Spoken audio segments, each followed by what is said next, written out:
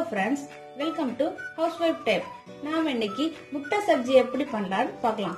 அதுக்கு தேவையான பொருட்கள் முட்டை அஞ்சு எடுத்திருக்கேன் பாருங்க. அஞ்சு முட்டைக்கு பத்து பல்லாரி போடுங்க. ஒரு முட்டைக்கு ரெண்டு பல்லாரின்ட்டு பத்து பல்லாரி எடுத்திருக்கேன். மூணு தக்காளி ரெண்டு பச்சை மிளகாய் இது வந்து இஞ்சி பூண்டு வந்து கொஞ்சம் ஒரு ரெண்டு இந்த ரெண்டு பீஸ் இது- இந்த விரல் அளவுக்கு ரெண்டு இது போதும். ஒரு பத்து பூண்டு. இது ரெண்டு நச்சு வச்சுக்கிடுங்க. அதுக்கப்புறம் இது வந்து பிரியாணி மசாலா ரெண்டு டீஸ்பூன். இது வந்து கா மிளகு ரெண்டு டீஸ்பூன் உப்பு தேவையான அளவு பச்சை மிளகாய் ரெண்டு கருவேப்பிலை கொஞ்சம். ஸ்டவ் ஆன் பண்ணி கடாய் வச்சு எண்ணெய் போட்டு எண்ணெய் சூடாயிட்டு இப்போ அப்படியே பல்லாரி போட்டிருக்கேன். இந்த பல்லாரி போட்டு எல்லா பல்லாரியும் எப்படி போட்டுருக்கேன்.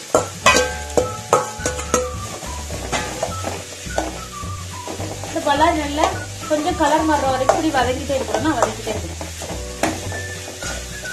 பல்லாரி வதக்கியாச்சு. நம்ம கலர் சேஞ்ச் ஆயிட்டு இந்த சமயத்துல ரெண்டு பல்லா ரெண்டு பச்சை மிளகாய் போட்டுருங்க.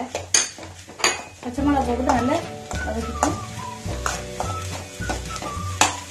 கொஞ்சம் கருவேப்பிலை. இந்த ஸ்டேஜ்ல கொஞ்சம் கருவேப்பிலை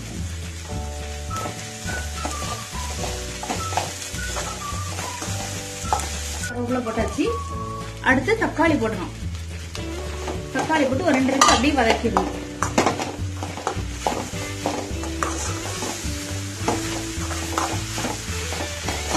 பல்லாரி வதக்கியாச்சு. பல்லாரிக்கு அப்புறம் நெக்ஸ்ட் இந்த இஞ்சி பூண்டு தட்டி வச்சிருக்க தெரியுமா? அதை அப்படி போட்டுருங்க. நல்ல இஞ்சி இந்த சைடில் கொஞ்சம் உப்பு போட்டுருங்க.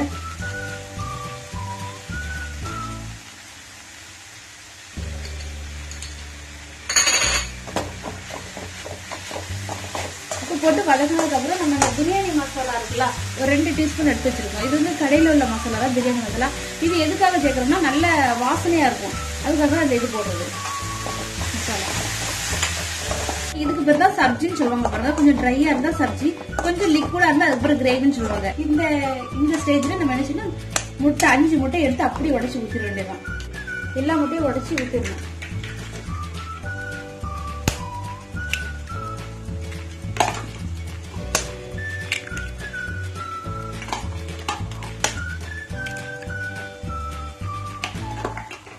அஞ்சு முட்டை அப்படியே அதுல அந்த சப்ஜில அப்படியே உடைச்சி ஊத்திட்டு நம்ம கை விடாம அப்படியே கிண்டிக்கிட்டே இருக்கணும்.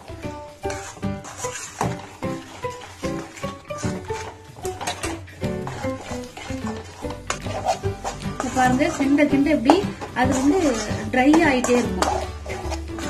இது வந்து நீங்க நான்ஸ்டிக் கடையில பண்ணிடாதீங்க. நான்ஸ்டிக் கடையில டேஸ்ட் குறைஞ்சிரும். இதே மாதிரி கடையில பண்ணுங்க டேஸ்ட் வந்து நல்லா இருக்கும் இதுல. அதனால தான் நான் இந்த கடாயில பண்றேன் இன்னைக்கு.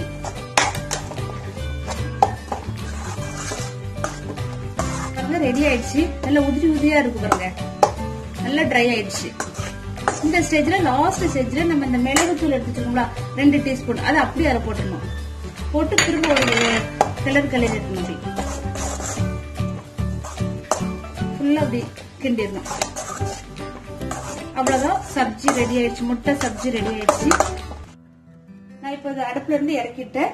சப்பாத்தி போட்டிருக்கேன். இது சப்பாத்தி கூடயும் இந்த முட்டை சப்ஜி வச்சு சாப்பிடலாம். இந்த முட்டை சப்ஜி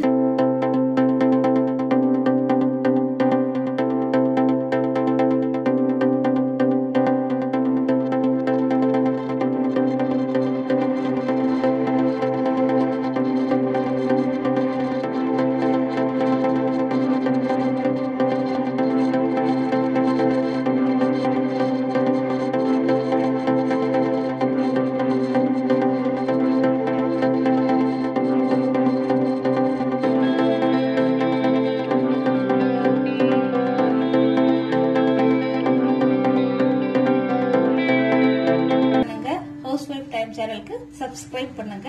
தேங்க்யூ